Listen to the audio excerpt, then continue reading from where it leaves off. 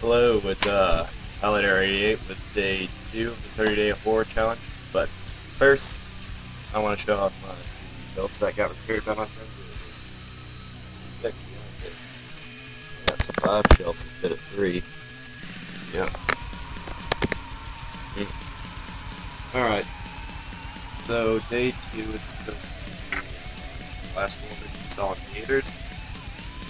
Alright. I hate going to so really can't remember the last horror maybe I saw in theaters.